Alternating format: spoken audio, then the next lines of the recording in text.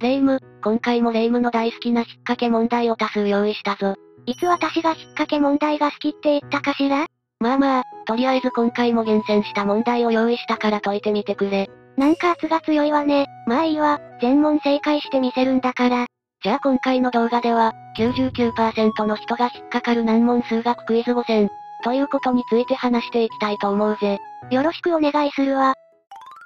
まずは1問目の問題だぜ。これはバナナテストと言われていて、なんとこの問題が解ければ、天才と言われているんだ。ふ。このレイム様の実力、見せてあげようじゃないの。実は天才だってところ、見せつけてあげますわよ。よし、見せてもらおうじゃないか。この図を見て、ハテナに入る数字が何なのか、1から4の数字から答えを選んで、当ててみてくれ。オッケー、頑張るわ。ではスタートだぜ。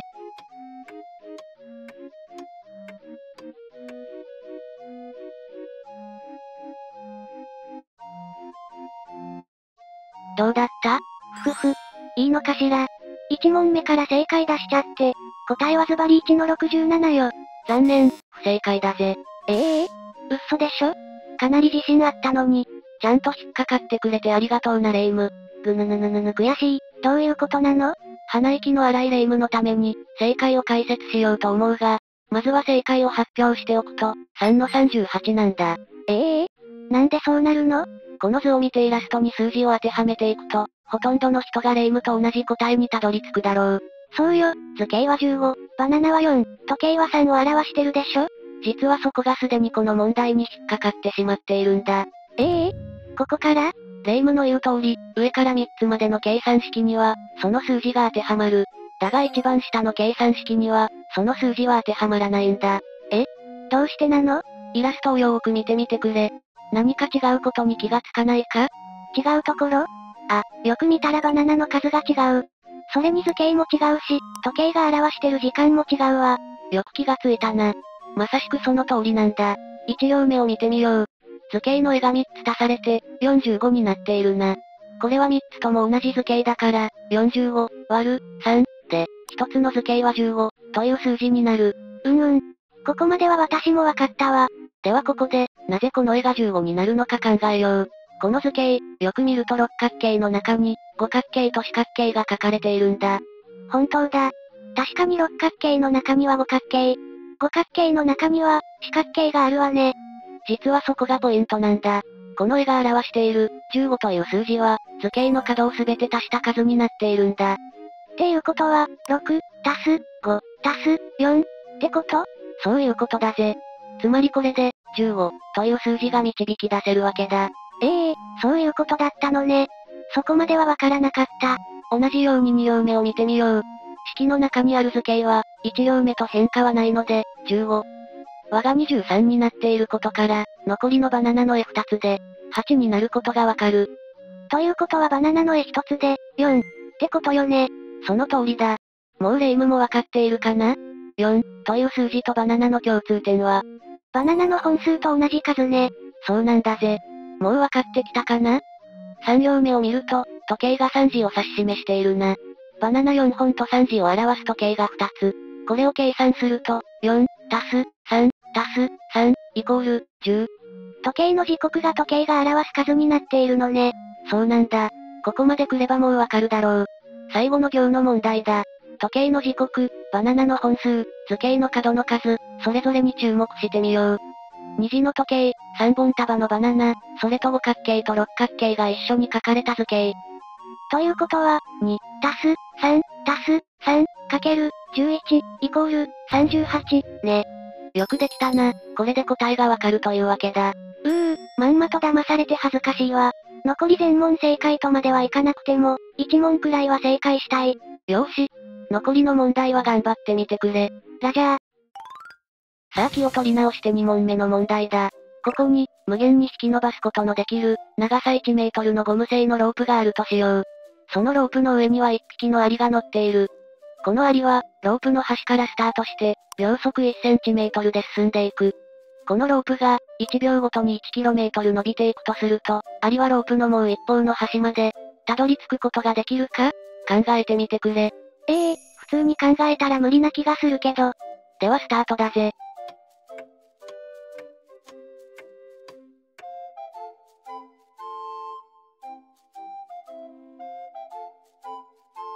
どうだった？うーん。やっぱり私は無理だと思う、かな。ファイナルアンサー？だってアリが1センチ進むと、ロープは 1km 伸びるんでしょ？普通に考えたら、永遠にたどり着けない気がするけど。なるほど。おそらくこの問題を聞いたほとんどの人は、霊夢のように無理だろうと考えると思うぜ。うんうん。できるって答えても、その理由を説明できないわ。そうかもしれないな。ではまず正解から発表していこう。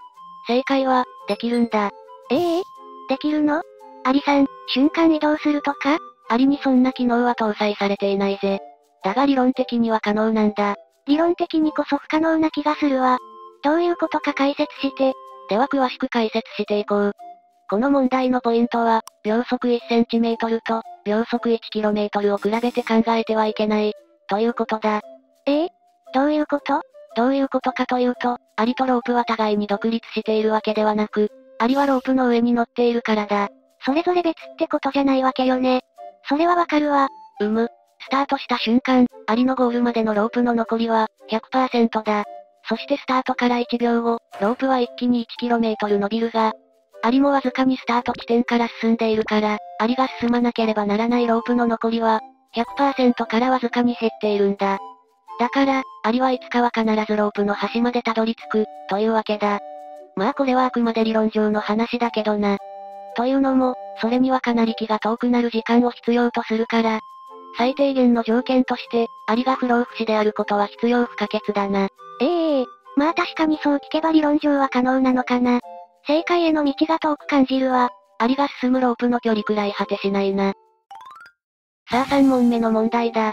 学校の同じクラスに、同じ誕生日の人がいる確率は、どのくらいかを考えてくれ。これは、誕生日のパラドックスとして有名な確率の問題だぜ。同じ誕生日の人の確率か。同じ月くらいなら結構いるけど、全く同じ誕生日と考えると、なかなかいないわよね。1年は365日だから、誕生日も365パターンあるってことだものね。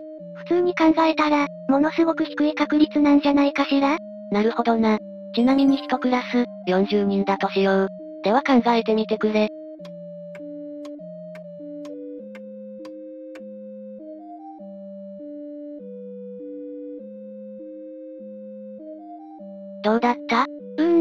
算方法とかよくわからないけど、多分30%以下くらいじゃないかしら？ふむふむ。レイムはそう考えるんだな。では正解をまず発表しよう。同じクラスに同じ誕生日の人がいる確率は、なんと、約90%、なんだ。ええー、そんなに高いの？だって、365の誕生日のパターンがあって、クラスには40人しかいないのに、その中で同じ誕生日の人がいる確率なんて、ものすごく低そうなのに。確かにそう思うかもしれないな。だがこれはしっかりとした計算式で導き出すことができるんだ。計算方法は、まず、自分以外の他の人の誕生日が全て自分の誕生日と違う確率、を考えて、その確率を100%から引いた確率が、一人でも自分と同じ誕生日がいる確率、となるうーん。よくわからないわ。では具体的に計算して説明していくぜ。自分の誕生日を、8月12日としよう。例えば、A 君というクラスメイトがいたとする。A 君の誕生日が自分と同じでない場合、8月12日以外の何日でもいいので、365日中の364日のどれでもいいということになる。確率で書くと、A 君の誕生日が自分と違う確率は、365分の364だ。ふむふむ。ここまでは私でもついてこれるわ。それはよかった。そしてクラスメイトは A 君を入れて、自分を除いた39人いるから、彼らも自分と違う誕生日の確率は、365分の364となるぜ。そして、彼ら全員が自分とは誕生日が違うという確率は、39人分かけることで導ける。つまり、365分の364かける365分の364かける365分の364という具合に39回かけるということだな。そしてこの計算の答えは0.899となる。つまり、約90%ってことね。その通りだ。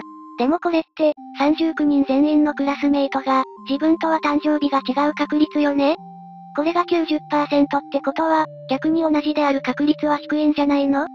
では今度は、一人でも自分と同じ誕生日の人がいる確率を計算しよう。これはさっきも言った通り、自分以外の他の人の誕生日が、すべて自分の誕生日と違う確率を、100%から引くことで求められる。つまり、1、引く、0.899、イコール、0.101、だ。ってことは 10%? やっぱり低いじゃない。確かに低いな。だがこれはあくまで、自分とその他のクラスメイトが、同じ誕生日である確率だからな。今度は自分だけではなく、クラスの生徒全体で考えてみよう。クラスの中に同じ誕生日のペアが存在しているか、ってこと？そうだぜ。さっきと同じように、まずはクラスメイト全員の誕生日が異なっている確率、を求めていくぜ。そして、100%からその確率を引いたものが、クラスで同じ誕生日のペアが一組でもいる確率、となる？考え方は同じなのね。まずは、ある一人の誕生日を考えていこう。仮に B 君とする。B 君の誕生日は、365日のどの日でもあり得るので、確率としては、365分の365イコール1となる。次に、C 君について考えてみよう。C 君は B 君と同じ誕生日にはなってはいけないので、C 君の誕生日は、365日中の364日だ。ここまでの確率は、B 君の確率も一緒に考えて、365分の365かける365分の364となる。さらに D 君は、B 君と C 君の2つの誕生日と重なってはいけないため、D 君の誕生日は、365日中の363日。ここまでの確率は、B 君と C 君の確率も一緒に考えて、365分の365かける365分の364かける365分の363となるぜ。このように、E 君、F 君と40人分続けていけば、すべての生徒の誕生日が違うクラスが生まれる。確率を書くと、365分の365かける365分の364かける365分の326。分母はずっと同じだけど、分子の数が1ずつ減っているわね。その通りだ。40人いるから、365から40人分だけ1ずつ小さくした。326までだな。これを計算すると、答えは、0.109、となる。つまり、約10.9%、だな。すべての生徒の誕生日が違う確率は、約10.9%、だ。違う確率が10.9%って、意外と低いわね。最後に、100%からこの確率を引くことで、クラスで同じ誕生日のペアがいる確率を、求めることができる。つまり、100%、引く、10.9%、イコール、89.1%、となるわけだ。つまり、クラスで同じ誕生日のペアがいる確率は、約90%もある、ということなんだぜ。はあ、すごいわ。ちゃんと計算すると、こんなに高い確率が出てくるのね。かなり衝撃的な数字だよな。4問目の問題だ。まずはこの図を見てくれ。1、イコール、11、2、イコール、22、3、イコール、33、4、イコール、44、5、イコール、55、という数式がある。最後に入る、11、イコール、ハテナの、ハテナ、には何の数字が入るのか、考えてみてくれ。この流れでいくと、あれしかないわね。ではスタートだ。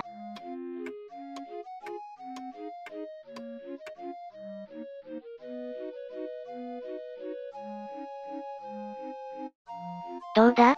わかったか？いろいろ考えてみたけど、やっぱりこれしかないと思うわ。答えは1111、じゃない？残念、不正解だ。ええー、うー、また不正解、悔しいわ。実はこの問題、正解はいくつかあるんだ。ある意味では1111も正解と言えるぜ。え？えー、正解が複数ある数式？そうなんだぜ。ではこの問題の正解パターンを紹介していこう。まず、この数式を成り立たせる場合の正解は、121、なんだ？121? なんか見当もつかない数字だけど、どういうことなの？まずこの数式を成立させるためには、それぞれの数字の前に、数式が必要になる。つまりこういうことだ。このようにそれぞれの数字の前に、11とかけるを入れることで全ての式が成立し、11かける11で、121という答えになるというわけだぜ。はあ、なるほどね、目から鱗だわ。次は定義として考える場合の答えだ。定義として考える場合、1、イコール、11、になっているから、この場合の正解は、11、イコール、1、ということになる。さらに単純に数字を連続させる、という法則として考えるのであれば、霊夢の言う通り、1111も正解であると言えるんだぜ。だから前提によって正解は異なり、1、1111、121、など、様々になってくるんだ。へえ、本当に答えがいくつもあるのね。他にも成立する答えがいくつかあるかもしれないから、自分なりに探してみるのも面白いかもしれないな。5問目の問題だ。1時間で燃え尽きる、2本の導火線がある。導火線の材質にはムラがあり、燃え尽きるスピードが速い部分と遅い部分があり、一定の割合では燃焼しない。この2本の導火線と1個のライターだけを使って、正確に45分を測るには、一体どうしたらいいのか、考えてみてくれ。うーん。これも難問ね。頑張ってみてくれ。ではスタートだ。